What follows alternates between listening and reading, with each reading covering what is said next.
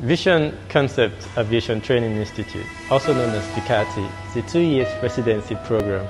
I joined VCATI because it's a 147 approved organization. It's a guaranteed license course.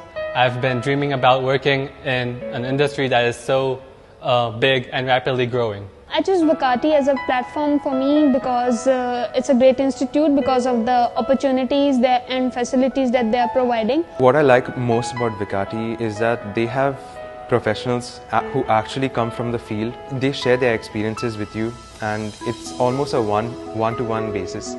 We also have management experts who also come to give us better knowledge about aviation management. When I compared to my, uh, my uh, institute, I just did my course there in India uh, compared to this, the institute is very good. It will, it will not only land me a job successfully uh, at the end of my course, but also it will make me a, a, a global citizen in a, in a sense that I can um, uh, find a job uh, in uh, any, any part of the world, including North America, Europe, or the, the Far East, for instance.